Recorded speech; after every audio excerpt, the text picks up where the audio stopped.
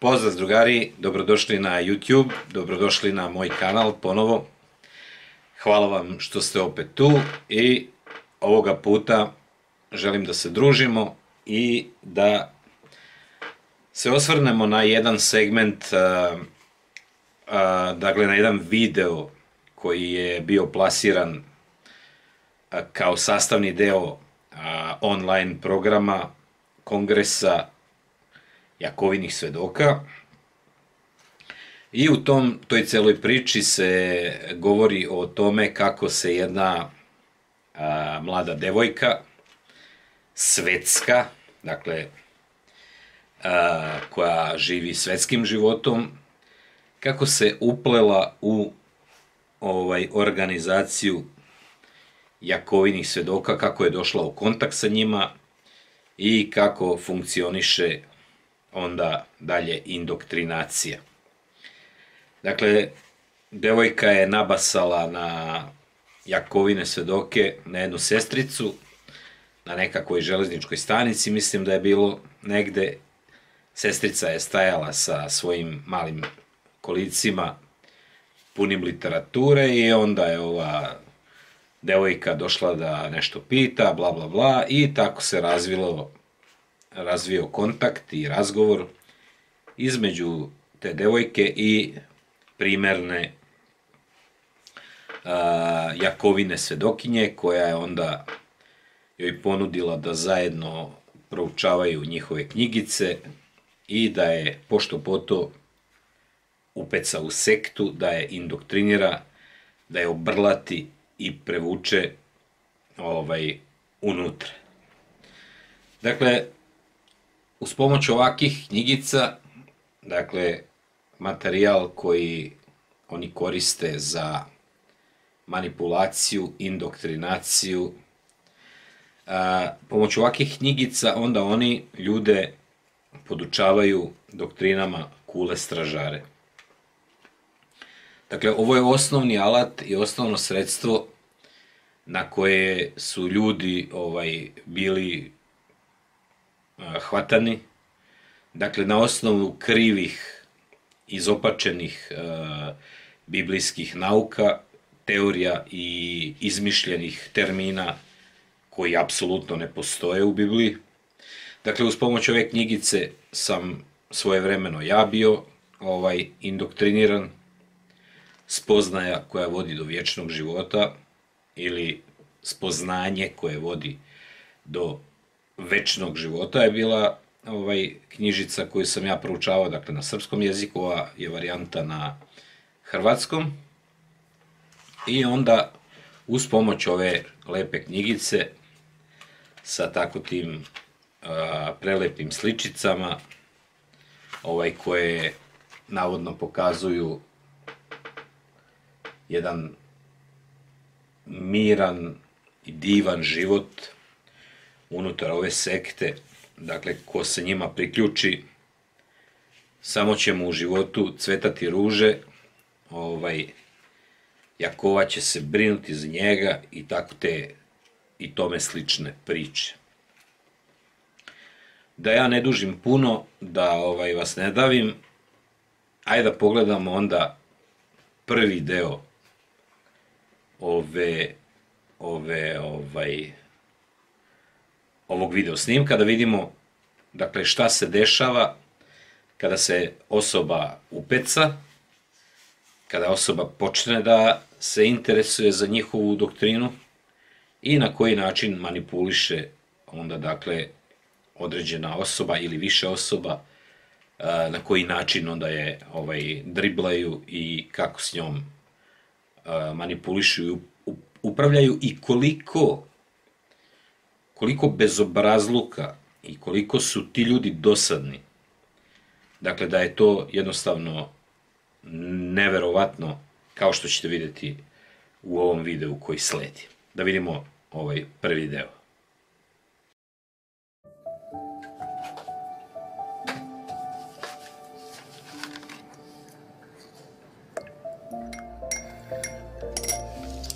Sve sam probala da Lili dođe na sastanak. svaki četvrtak i nedjelju. I mislim, mislim da bi ti se svidjelo. Ne znam, vidjet ću. Bilo bi lijepo da dođeš.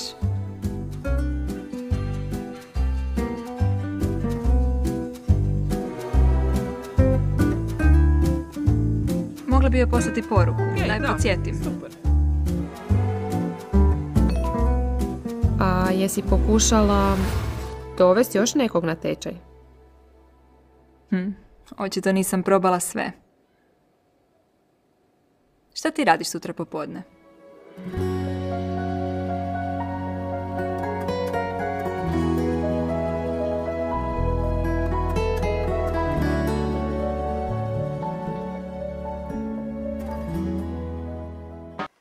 I u ovom prvom delu, kao što ste vidjeli, imamo situaciju kada sestrica, dakle, Jakovin svedok, jel, a, pokušava da osobu, dakle u ovom slučaju ovu devojku, pokušava da je nagovori da dođe na njihov sastanak.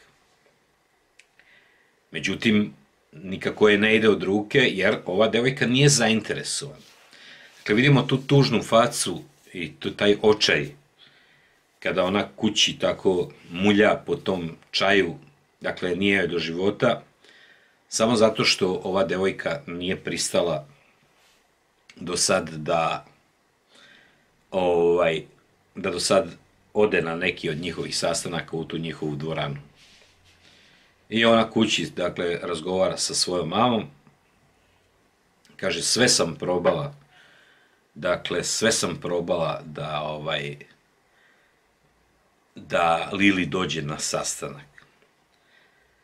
Dakle, jer nije shvatila da je dosadna i da Lili ne želi da dođe na sastanak. Dakle, njen stav nije taj da hoće da dođe, nego njen je stav da neće. I onda je vidimo, dakle, tamo u nekakvom restoranu, gde zajedno nešto tamo piju, jedu, šta rade. I kaže, bilo bi lepo da dođeš, baš bi bilo lepo da dođeš na sastanak, jel?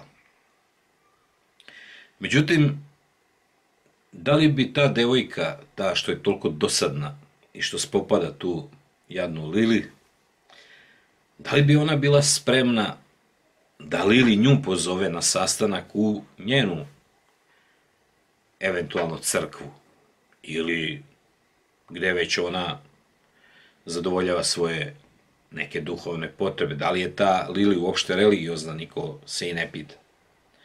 Možda ona ima neki klub gde, ovaj, gde ona odlazi, gde bi recimo mogla da dođe u situaciju da kažem da kaže pa ajde hoćeš ti sa mnom prvo da idemo u klub e, bajkera na primer ili u klub ne znam nekakvih e, ljubitelja rock and roll muzike ili tako tome slično ili hoćeš ti da dođeš sa mnom u moju crkvu gde ja idem da vidiš šta se tamo događa dakle ova sestrica bi naravno to odbila. I sad zamislite da Lili stalno njoj dosađuje. Hoćeš da dođeš, hoćeš da dođeš. U mojoj crkvi su mise, ne znam, sredom i e, nedeljom. Bogosluženja su tad i tad. Dođi da vidiš, dođi ovako, dođi onako. I da je svaki dan i sve moguće varijante da isprobava na sve moguće načine da je dovuče u crkvu ili u neki klub, ali ovoj devojci to ne pada na pamet. Jer nije tako bezobrazna i nije dosadna kao ova, ova dosada ova što, što, je, što je non stop proziva. E, vidimo situaciju kada je ona kod nje u sobi, dakle u sobi je naravno nered, pošto Lili nije Jakovina svjedokinja, i kod nje u sobi vlada haos. Vidimo ovu sestricu kako je bukvalno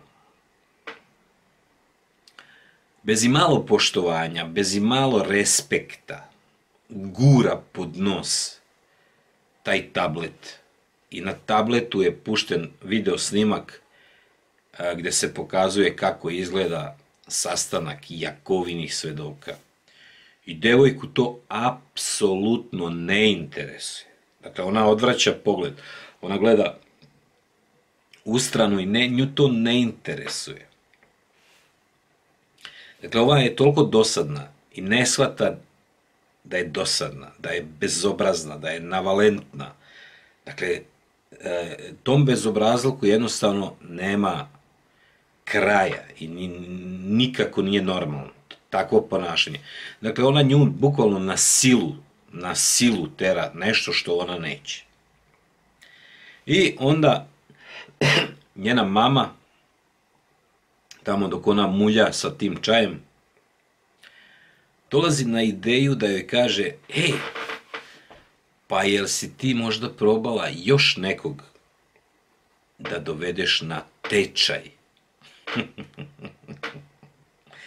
znači da je dovede još nekog da probaju još neke metode. Iako je ova rekla sve sam probala. Dakle, sad sledi no, uh, još jedna ideja, dakle, da, da, da, da dovodi koje kakve druge likuše i da svi zajedno vrše psihološki pritisak na nju, da ju pošto poto primoraju da dođe na sastanak. Znači, dosađuje non stop tamo u onoj dvorani, joj piše neke poruke na Whatsapp, na, na Messenger, na šta li već. Dakle, ne može živeti od nje koliko je dosadna. I onda, kad je mama predložila da, ovaj, da povede još nekoga, onda, kao što smo videli, sledila bukvalna redaljka. Dakle, tu su se smenjivale i Kurta i Murta i svi mogući su se izređali u njenoj sobi da dolaze da ju finim i ljubaznim e, osmesima i slatkim rečima premuntaju i konačno da je ubede da dođe na njihov sastanak. Dakle, koliko je potrebno a, dosađivati ljudima da, da rade nešto što ona neće. Dakle, neću, ali oni su toliko dosadni da to nije normalno. Međutim, oni su trenirani za to. Oni su u očaju da to urade, jer su im potrebni ovaj, ti sati koje moraju da raportuju, tamo da pišu te izveštaje i na njih se takođe vrši pritisak da moraju što više ljudi da nađu i da budu primerni ovaj, svedoci, ali inače, inače im Jakova neće dati da uđu u raj. Da vidimo drugi deo ovog videa šta se dalje dešava.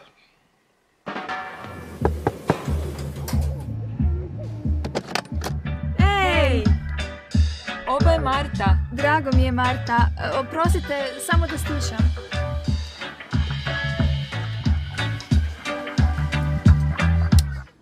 Čini mi se da ih već sto godina nisam slušala. Vi znate taj bend? Pa naravno, išla sam na svaki njihov koncert dok još nisam bila u istini. Ma dajte, sviđa vam se ta muzika. Ne vjeruješ mi?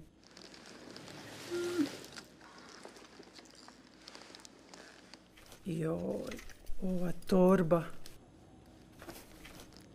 Nikad ništa ne mogu u njoj naći. Marta. Evo, kad sam ja bila mlada. Vi ste pjevali u bendu. The sun shines so sweet. Wow, to mi je super pjesma. Čak imam tu ploču.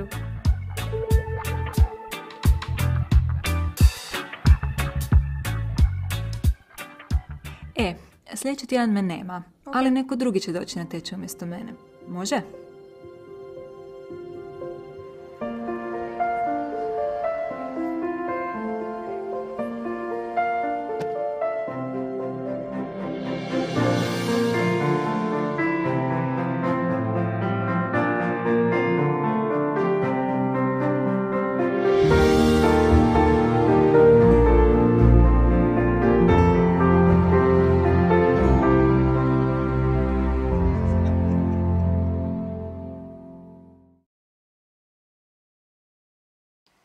I sad u drugom delu ovoga videa vidimo da je stigla baba Marta.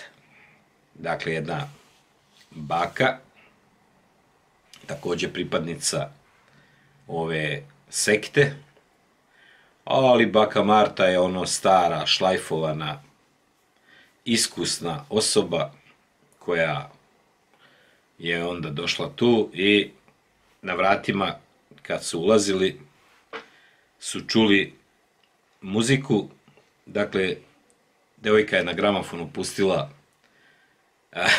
svoj omiljeni rock band i baka Marta i sestrica su se onako pogledale dok je ova devojka otišla da stiša muziku.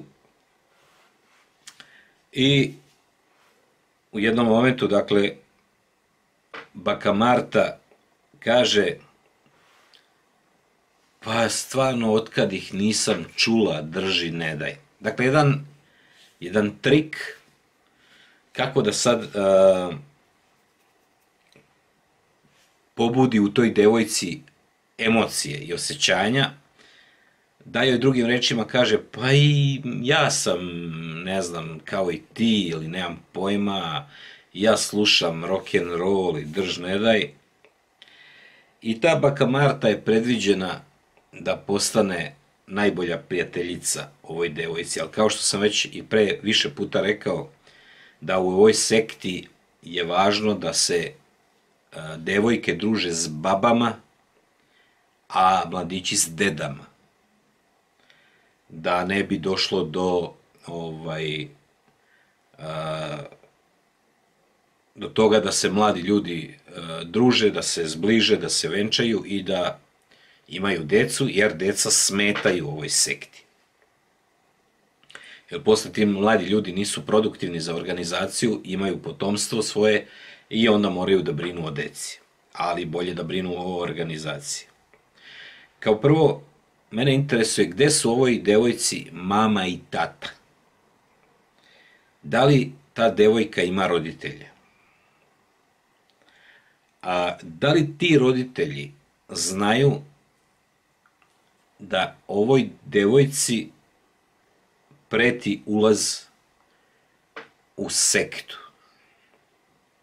Da li su ti roditelji svesni da se kod te devojke u stanu događaju redaljke, dakle da se tamo kolona sestara i sestrica na, naizmenično, dakle, vrti u krug i da, je, da je kljukaju stalno iznova ovom propagandom. Dakle, ovim materijalom kule stražare. Da je, taj, da je ta devojka upravo u velikom problemu.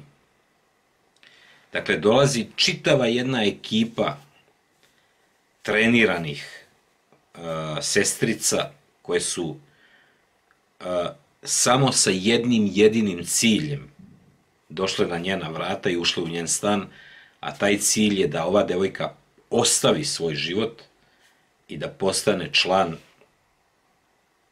sekte kule stražare. I onda Marta je oduševljava tim svojim, tom svojom izjavom, čak počinje da pevuši, ne znam, pesmu, jel? I kao po onoj torbi, gdje bab, bab, babljoj onoj torbi nešto traži, rovi dva sata, dok izvadi telefon i, i, i gle slučaja, ona u telefonu, dakle, nos, ima sliku, kad je ona pevala u nekom bendu. Neverovatno, znači. Dakle, baba nosi to u tom telefonu. Dakle, ako je, ako je istina da je baba Marta bila prateći vokal Bob Marleyu na koncertima, ovaj, onda je baba Marta namerno tu sliku stavila u telefon jer je znala da će ići kod ove devojke i da je impresionira. Ja ne vidim drugi, drugi način zašto i kako se ta slika našla Baba Marti u telefonu. Dakle, neverovatno. Ali je igra slučaja ili ne znam. Ali, ono što je istina jeste stvarno da oni koriste te takve fore, da osobu onda pridobiju.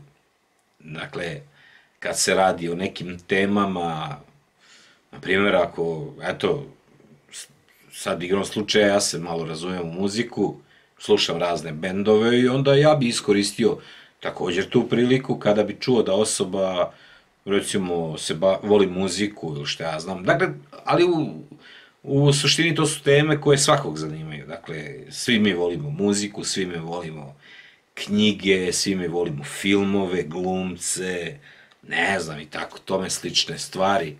Dakle, svi znamo nešto malo o istoriji, ovaj, i tako, tome slično. I onda se to iskoristi u datom momentu da se osoba obrlati.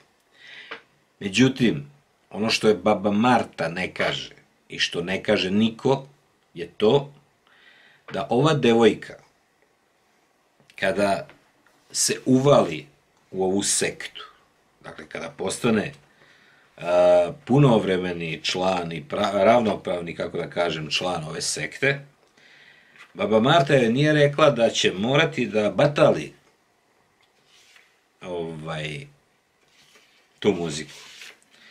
Dakle, u ovoj sekti se stalno vrši presija na ljude da ne smeju da slušaju a, muziku, to jest sve ono što nije od Jakove. Jer taj bend koji ona sluša, kao prvo ona idolizira taj bend, dakle to su za nju idoli, a Jakova ne voli idole. Kao drugo, taj bend se ne oblači pristojno, već ima te čudne e, kožne pantalone, Texas jeans, ovo ono, ima minđuše, ovaj, piercinge, šta ti ja znam, i to Jakova isto ne voli.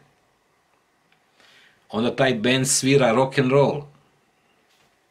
A rock and roll pobuđuje na onu ideologiju sex, drugs and rock and roll. I onda to Jakova isto ne voli.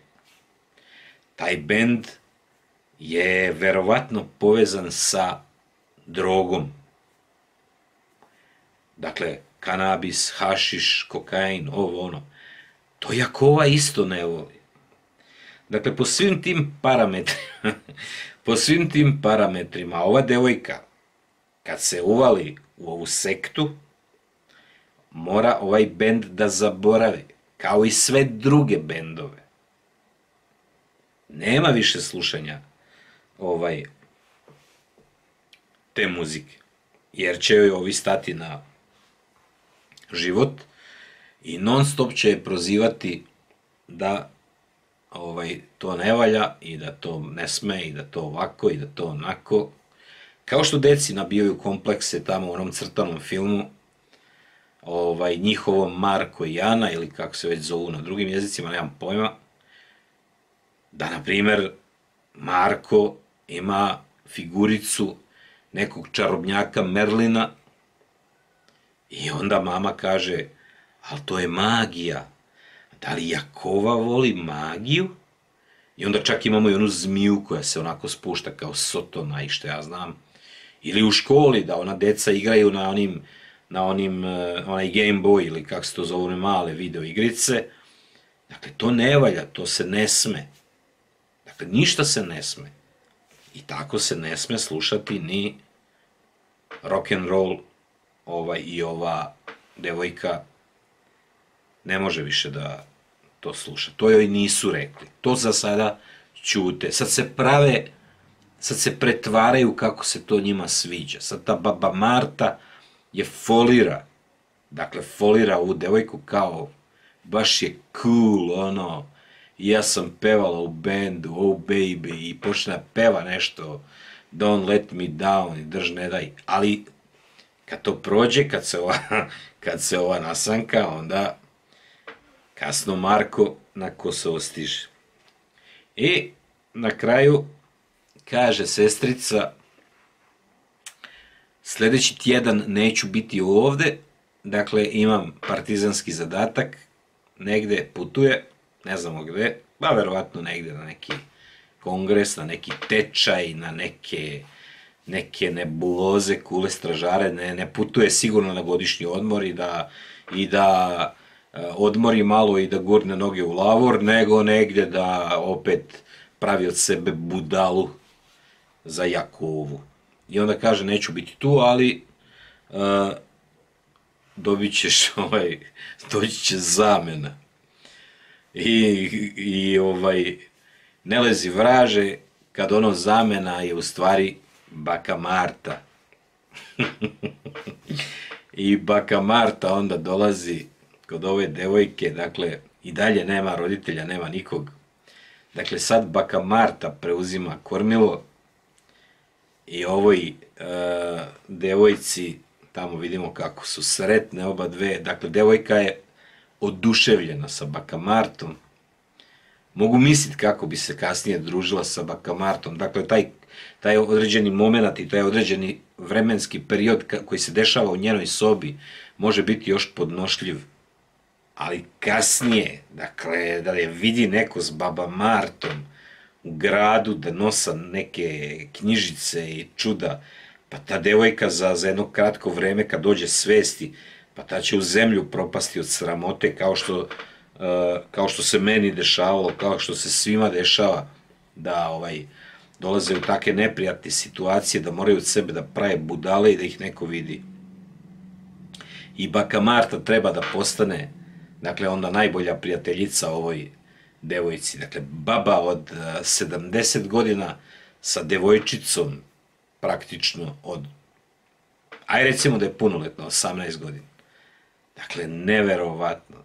Dakle, ovaj video je bio samo jedan primer koji ste imali priliku da vidite i koji je plasiran sad nedavno kao jedan komad e, materijala iz sa tog kongresa da se vidi, da se pokaže koliko neko može biti dosadan i agresivan i na silu nekoga uvaljivati u neku sektu, dakle, bez obzira što ta devojka ne želi jednostavno, ali oni su Oni su jednostavno reprogramirali, pronašli način, dakle, prevaru, to isto kao kad na pijaci te neko ubeđuje da nešto kupiš, dakle, želi da te presvuče, želi da ti uvali.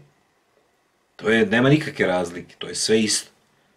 Kad dođeš pa ti neko hvali ovo, a moja roba najbolja, pa neću, pa probaj, uzmi, vidi, pa neću pustiti, ali nećeš se pokajati, probaj, de vidi, ponesi, evo dobit ćeš i malo još pride i džabe i tako. Dakle, to je isto. Dakle, oni, se, oni su kao na pijaci, kao da se radi o ne znam čemu. Dakle, kad neko nešto neće, neće, ne možeš, to je ko kad nekog želiš da nateraš da nekog voli, a on ne može, ne voli, zdravo.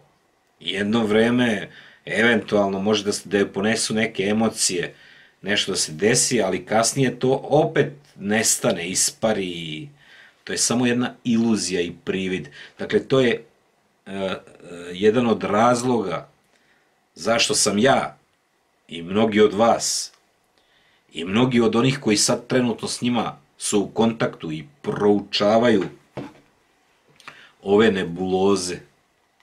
Dakle, to je jedan od razloga zašto ljudi nasedaju i zašto pristaju da uplove u te vode, ali kasnije kada, kada ovaj, to prođe, kad se probudiš iz sna, vrati se ponovo java, stanje realnosti i ti onda shvatiš da nisi tu, da to nije to.